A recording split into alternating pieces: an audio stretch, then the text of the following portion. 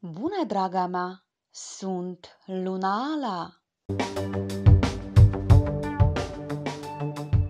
În următoarea săptămână, Universul ne oferă o serie de aspecte planetare care pot influența diverse aspecte ale vieții noastre. Săptămâna începe cu o notă pozitivă, deoarece Mercur se mută în vărsător, aducând energie și creativitate. Soarele face un sextil cu Chiron, indicând oportunități pentru vindecare și creștere personală. Pentru nativii gemeni, acesta ar putea fi un moment propice pentru a rezolva creativ probleme și pentru a explora noi domenii de cunoaștere. Vărsătorii vor străluci cu o activitate intelectuală ridicată, multitasking și posibilitatea de a realiza descoperiri științifice sau de a avea succes în afaceri. Lei și berbecii sunt îndemnați să asculte sfaturile părinților lor în ceea ce privește finanțele și viața personală. Acest lucru ar putea ajuta la evitarea unor decizii impulsiv nesăbuite și la menținerea stabilității financiare și a relațiilor personale. Balanța este sfătuită să depășească temerile de lungă durată și precauția excesivă, care pot împiedica realizarea obiectivelor. Este momentul potrivit să se elibereze de aceste constrângeri și să se concentreze asupra dezvoltării personale. Fecioarele și taurii sunt avertizați să fie atenți la informațiile pe care le primesc și să le evalueze cu grijă. Aceste informații pot conține indicii valoroase pentru rezolvarea unor probleme curente. Conjuncția Mercur-Pluto la începutul săptămânii poate aduce o îmbunătățire a situației financiare pentru scorpion și berbeci. Totuși, pentru lei, este important să fie atenți la ceea ce spun cu voce tare pentru a evita conflicte cu cei dragi. De asemenea, cei care lucrează în domeniul public și social ar putea descoperi ca o influență mai puternică asupra celor din jur. La mijlocul săptămânii, un trigon între Venus și Uranus aduce un impact puternic asupra sferelor creative și romantice ale vieții. Acesta ar putea fi momentul în care cunoștințe spontane devin începutul unor relații romantice sau colaborări de afaceri neașteptate. Tauri, balanțele și peștii ar putea simți o instabilitate emoțională și o tendință de flirt cu persoane necunoscute. Vărsătorii și capricornii ar putea avea parte de surprize plăcute, iar scorpionii ar putea primi cadouri neașteptate.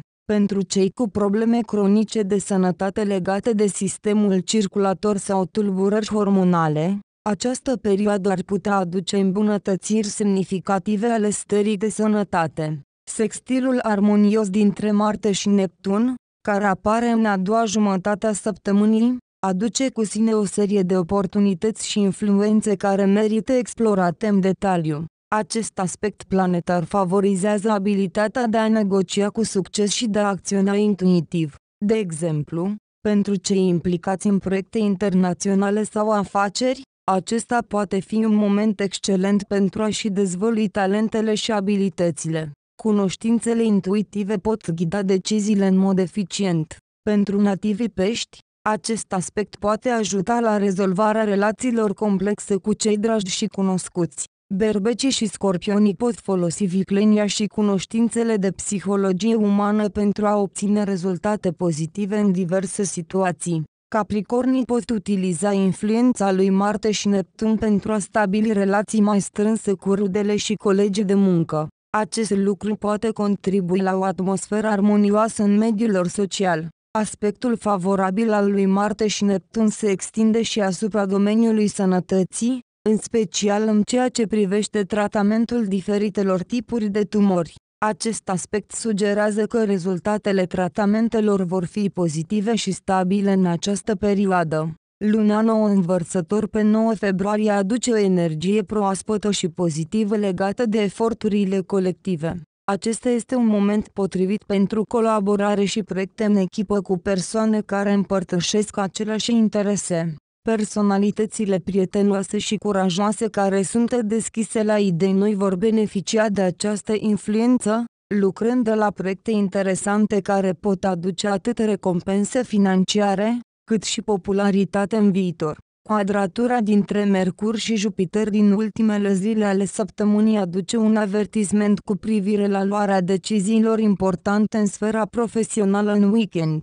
Se recomandă să petreceți sâmbăta și duminica acasă și să evitați contactele noi și călătoriile, dacă este posibil. Aceste sfaturi sunt deosebite de relevante pentru nativii fecioară, gemeni, săgetători și pești. Pentru fecioară și gemeni, este indicat să petreacă timpul cu o carte sau în fața televizorului, în timp ce săgetătorii ar trebui să încerce să-și controleze emoțiile și să evite comentariile asupra acțiunilor și declarațiilor altora.